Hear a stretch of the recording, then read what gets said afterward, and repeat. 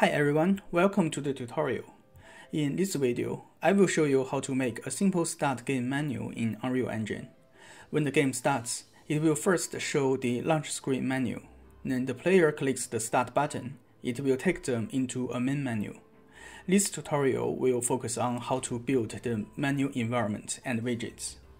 In next tutorial, I will explain in detail how I made reusable UI button widget. The smoky start button, the long save slots button, and uh, the confirm buttons all looks different, but they are based on the same master material. And if time permit, I will make a video showing how to create and manage multiple save slots in Unreal Engine. Let's start by creating the level and setting up the background for our menu. First, create a new empty level. We will use fog to create a nice gradient style background. Start by adding an exponential height fog to the scene. Then adjust the following settings. Scattering color. Uh, choose a color that fits the mood or style of your game.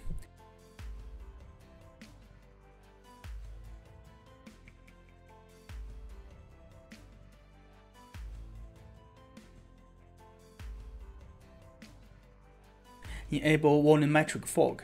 This adds depth and uh, softens the fog effect. Fog density. Increase to 1 to make the overall darker. Height uh, falloff. Adjust the value to tweak the light shape. Extinction scale. Adjust the value to soften the light. Feel free to experiment with other fog parameters to suit your need.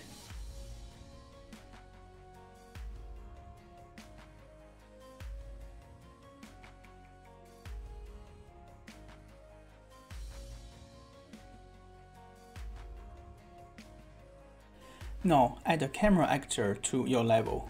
In the detail panel, set auto active for player to player 0 so the camera becomes active when the game starts.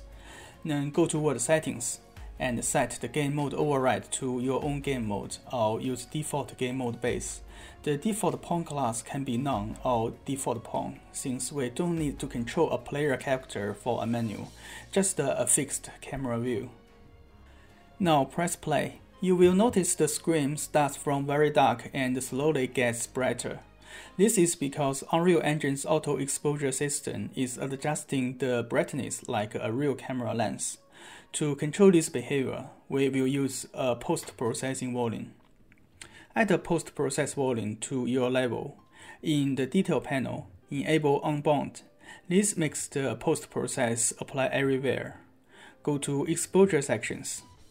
The speed up controls how fast the exposure adjusts from dark to bright. The speed down controls how fast it adjusts from bright to dark. Even our level starts out dark, the engine thinks it's starting from a bright exposure target, like our fog, then adjusting to a darker actual scene, so we need to adjust the speed down to control how quickly the screen becomes visible. If set speed down to 6, then play. Now you should see the launch screen brighten much faster. Now let's add a character or object in front of the camera to make the scene more interesting. You can use any mesh you like. For now, I'm using Unreal's mannequin. Place it in front of the camera. Give it an idle animation and uh, adjust its location and rotation so it looks good on screen.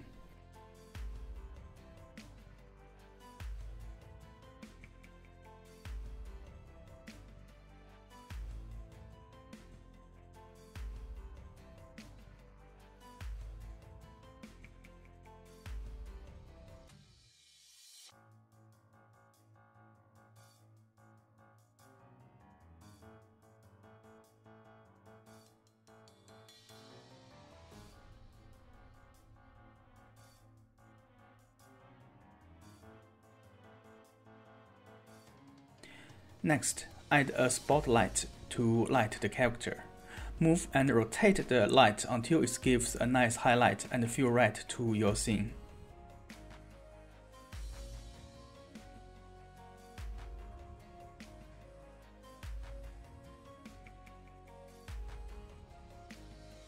Once you're happy with the placement, press play And now we have a very simple but clean start game environment. Now we need to create a user widget to hold our UI elements. I'm using the Common UI plugin because it gives more advanced control over UI elements. But if you are using regular user widgets, the process is almost the same. Start by creating a new user widget. Inside the widget, set an overlay as the root element. Then add a custom button widget to the overlay. In my case, this button is a customized widget I made. It used a procedural material to create an animation effect. I will cover how to build that uh, material and the button widget in a separate tutorial. If you already have your own custom button widget, feel free to use that here. Otherwise, you can just use the common button widget.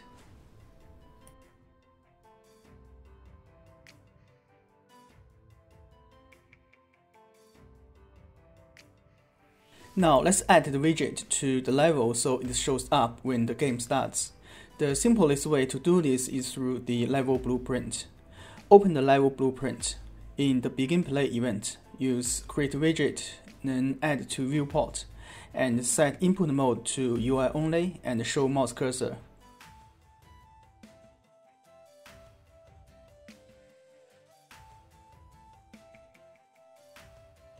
Now let's play. And here is the result. We got our start menu UI on screen. Next, let's create the main menu screen. To save time, I duplicated the start menu widget we just made. Then I adjust the button size and the text and align to the top left corner.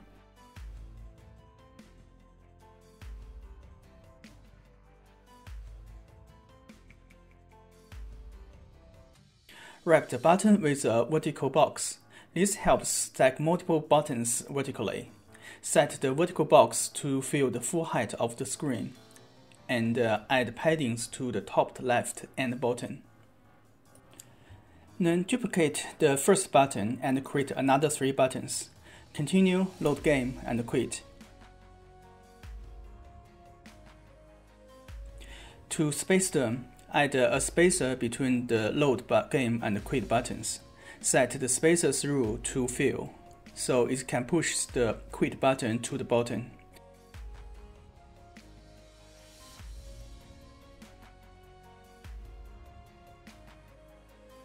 Now we have our main menu layout.